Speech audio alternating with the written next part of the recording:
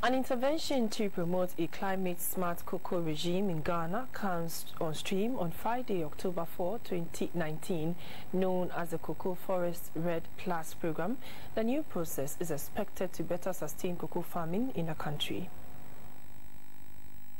Smart cocoa is the production of cocoa without forest degradation, but rather with methods that enrich the vegetation cover and nature. Under the Cocoa Forest Redd Plus program, cocoa farmers will be supplied with seedlings of indigenous tree species to plant per acre to provide cover for their cocoa farms. The farmers will also be encouraged to desist from tree felling.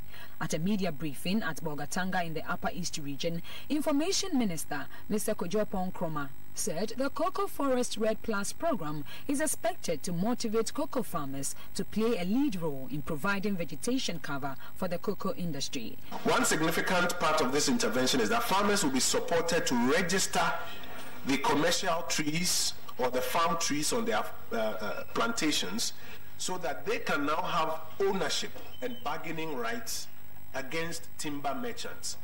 The Cocoa Forest Redd Plus program will be implemented by Cocoa Board, Forestry Commission, World Cocoa Foundation, as well as civil society organizations in the cocoa industry.